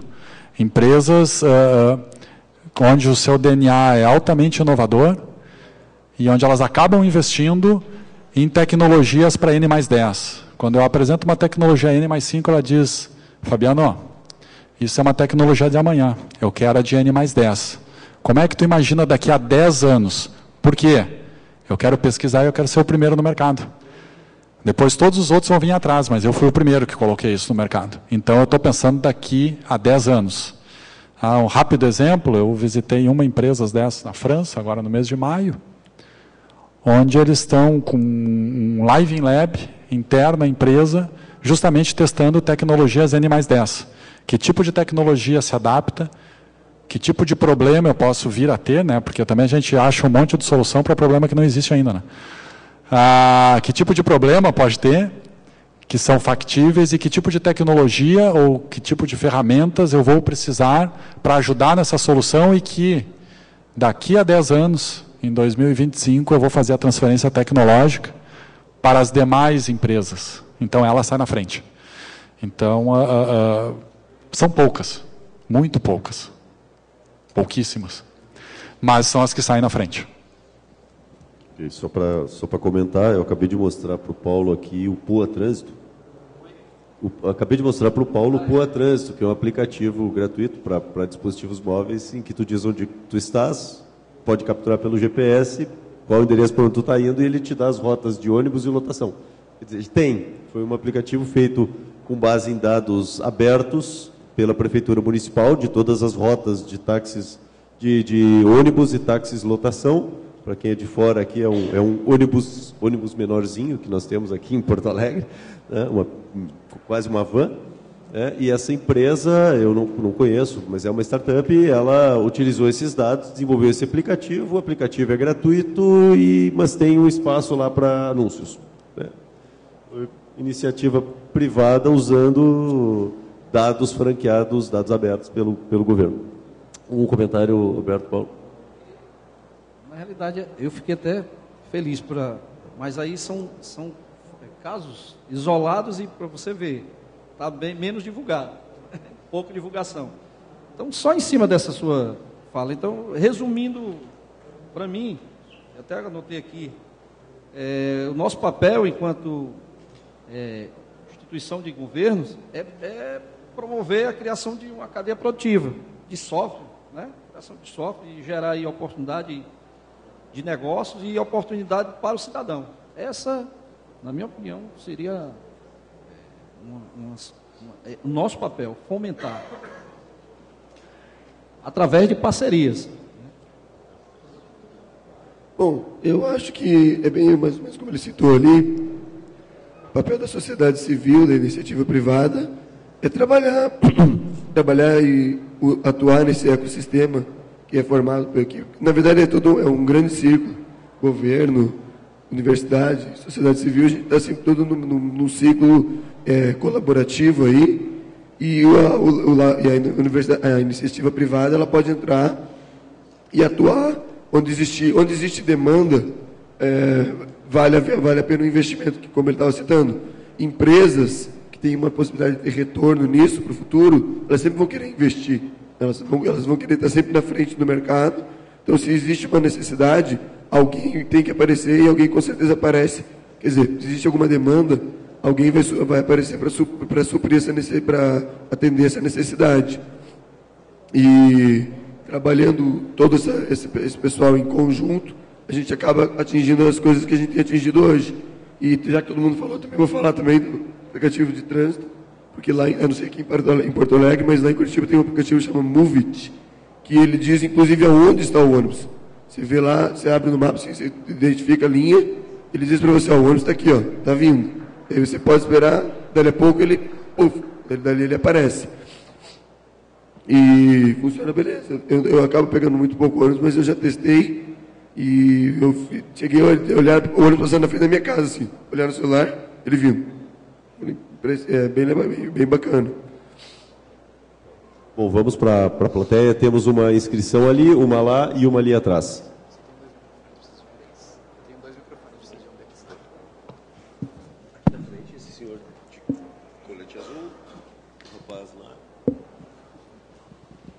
É, boa tarde, meu nome é Edmar. Eu venho do Espírito Santo, Cachoeira de Itapemirim.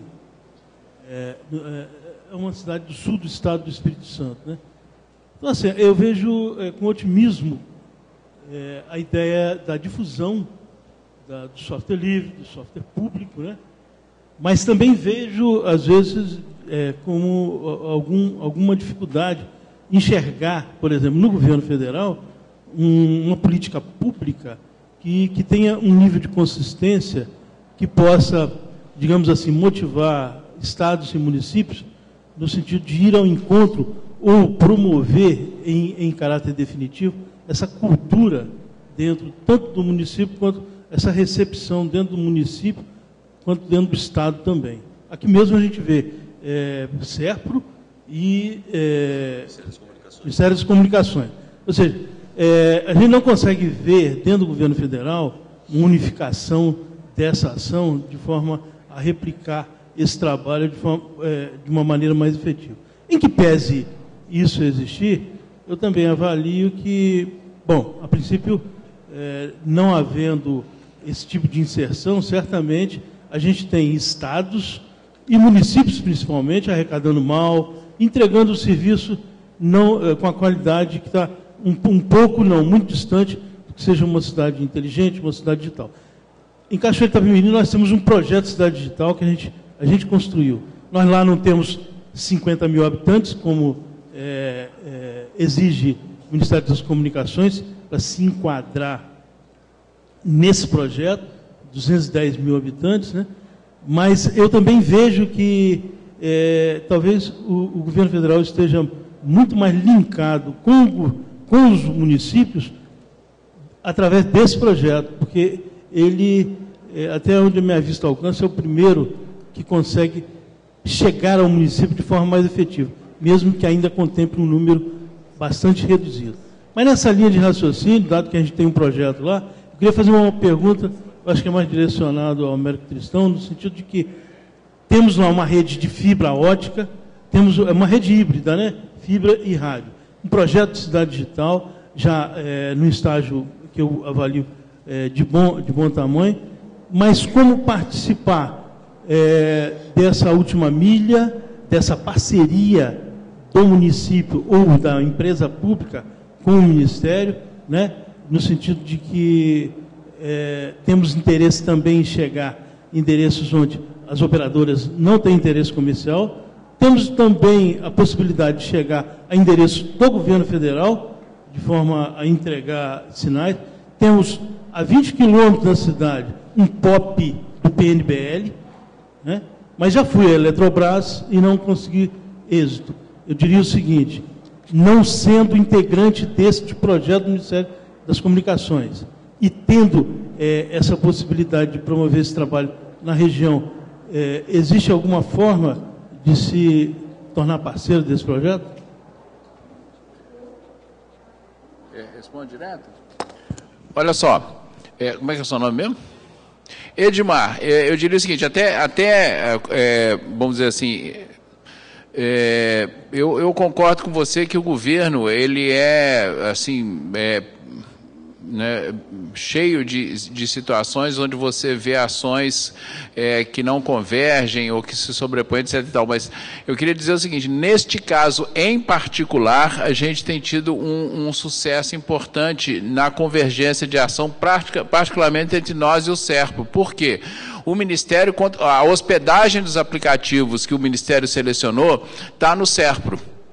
E o SERPRO, inclusive, tornou-se o é, o, o, o, mantenedor do, do aplicativo e-educar, né? A versão Educar da nuvem vai ser é, mantida pelo SERPRO e o SERPRO trabalhou conosco na seleção de um aplicativo para gestão pública, que é o Urban, que está sendo desenvolvido agora a partir de um apoio do SEBRAE, num processo de articulação entre nós, é, Secretaria de Relações Institucionais da Presidência da República, né, com o apoio do SERPRO. Então, neste caso em particular, eu acho que houve, nós conseguimos mostrar, eu diria o seguinte, nós conseguimos mostrar que é possível articular dentro do governo e construir ações convergentes. Então, tem aplicativos, a gente está acompanhando, né, nós, Ministério das Comunicações, porque nós queremos que garantir que as, que as versões atualizadas estejam à disposição dos municípios e, mais do que isso, nós vamos fazer um registro de preço para a implantação de aplicativos para que municípios que não estejam dentro do programa possam utilizar desse registro de preço para implantar os aplicativos. Tá certo? E nós estamos discutindo com o SERPRO a questão da contratação de que outros municípios possam contratar o SERPRO. De onde, onde tem dinheiro? BNDES hoje tem dinheiro via PEMAT para implantação de projetos e expansão de projetos. Nós podemos apoiar os municípios no sentido de definições. Nós, aí eu digo, quando eu digo nós, eu estou me referindo basicamente ao Ministério das Comunicações e Secretaria de Inclusão Digital. Nós temos condições de apoiar os municípios para é, é, contratação e desenho de projetos. Né? É, o, nós, nós não temos orçamento para atender hoje municípios mais que 50 mil habitantes. Na verdade, nós estamos tendo orçamento hoje para atender os que nós selecionamos. Mas tem via BNDES uma possibilidade e uma outra possibilidade é via emendas parlamentares para expansão de infraestrutura. Tá certo? Esse é um outro caminho que você pode utilizar. E eu vou conversar com a Telebrás para ver por que, que esse POP lá tá, tá não está ativo. Que uma das coisas que você pode fazer é, via conseguir recursos para implantação, criar o backhaul de, de, do POP até a cidade. Né? Então eu tô depois depois é, tem lá o e-mail das cidades digitais etc etc. É, e se você quiser depois você me escreve e a gente pode conversar um pouco sobre isso, tá? Interesse nosso em ajudar né, os municípios de uma maneira geral. Tá certo? O rapaz ali e.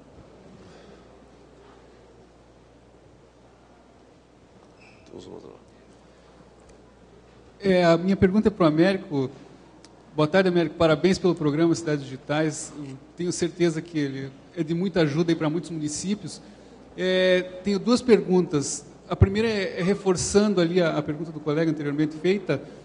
É, como o município faz para acessar o programa hoje, se ele quiser participar do programa Cidades Digitais e estiver dentro do perfil aí que o, o programa é, exige, né?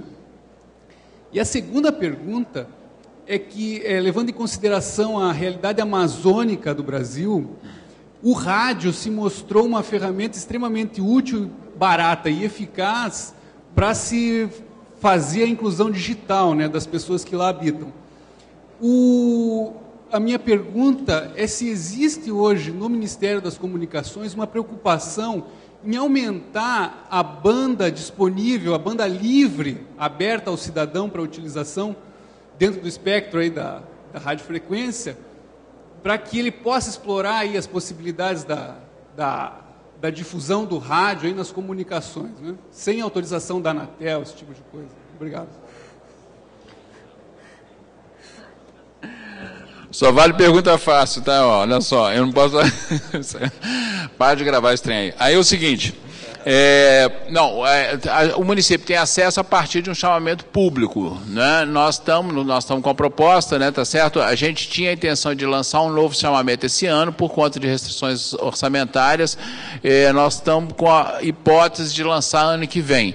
No último lançamento, no chamamento que nós tivemos, inscreveram-se 1.901 municípios, só para vocês terem uma ideia do que, que é o tamanho da demanda neste país.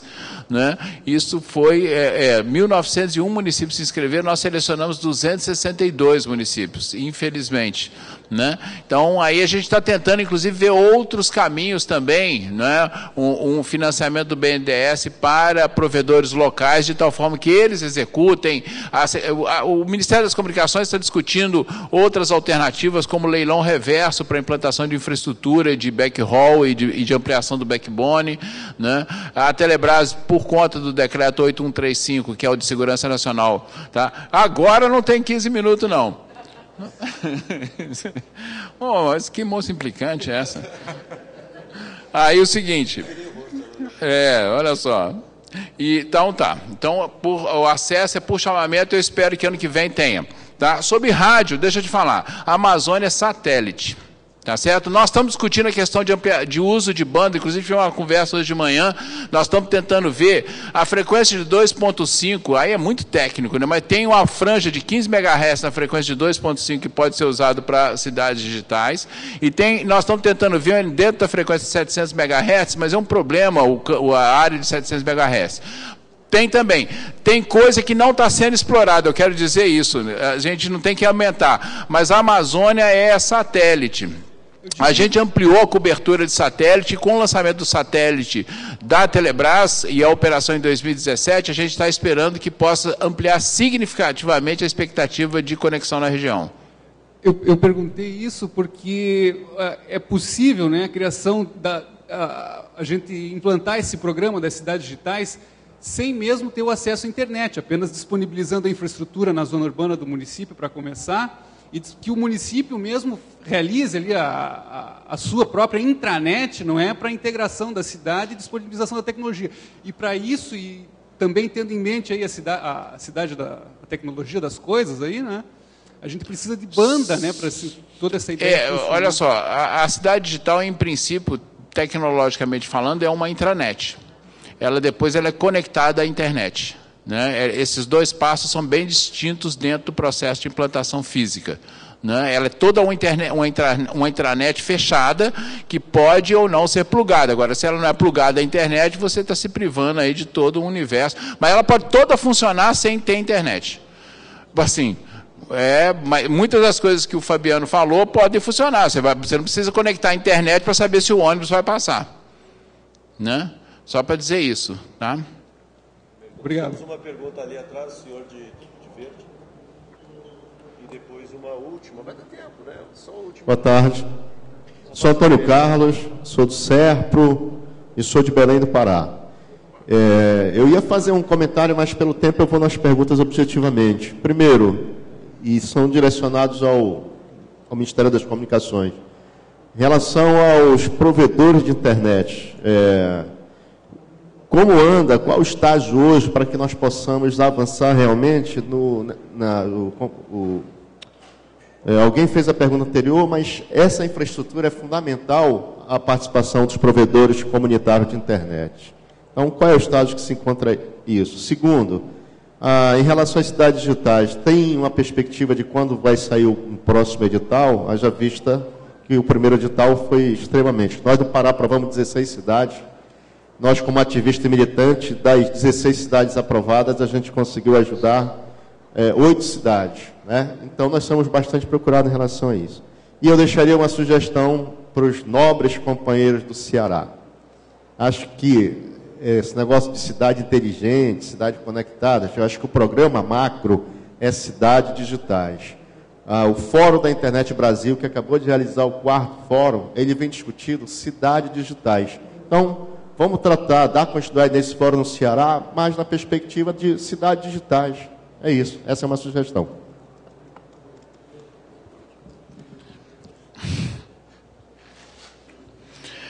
Seguinte, é, não, sobre provedores, esse é um tema central. É, esse é o tema central da questão da sustentabilidade, tá certo? E aí tem uma discussão em dois campos. Tem os provedores comunitários e tem os provedores.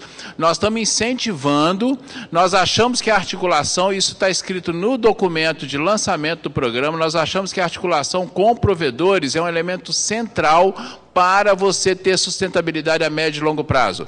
Nós não achamos que este programa é daqui, não é, quer dizer, não faz parte do programa a ideia de internet de graça para todo mundo. Faz parte do programa a ideia de que você tem que criar as condições para que todo mundo possa ter acesso à internet. Tá certo? Né? É, é só é, tem uma pequena inversão nas duas frases, mas é, ela é fundamental neste caso. Né? Eu tive hoje de manhã, antes de vir para cá, uma reunião com um dos presidentes da, da, de uma associação de provedores e nós vamos começar piloto, provedores comerciais. Nós vamos começar agora pilotos no sentido de concessão de infraestrutura para provedores comerciais, para que eles possam fazer expansão do acesso. Mas provedores comunitários devem se articular com as prefeituras para que garantam, inclusive até, até mesmo por pontos específicos, pegando pontos de acesso público e tocando. Eu tenho eu diria o seguinte: nós temos, né? Eu tenho, eu pessoalmente tenho um interesse enorme de ver experiências e, e ver experiências que possam dar certo para que a gente possa utilizá-las como exemplos no país. Não dá, eu acho que é claro para todo mundo que não dá para imaginar que o governo federal ou qualquer esfera de governo tem condição de sustentar indefinidamente um programa, ficar dando dinheiro. Porque se eu tiver que todo ano botar o mesmo tanto de dinheiro para tocar o programa, eu nunca vou conseguir expandir o programa. Tá certo? Então tem que ter um amadurecimento e uma continuidade. É, não, então é basicamente isso aí, né, no que diz respeito a, a, a, essa questão dos provedores. Né, sobre a questão do Ceará aí, não é, o, o pessoal do Ceará. Hã?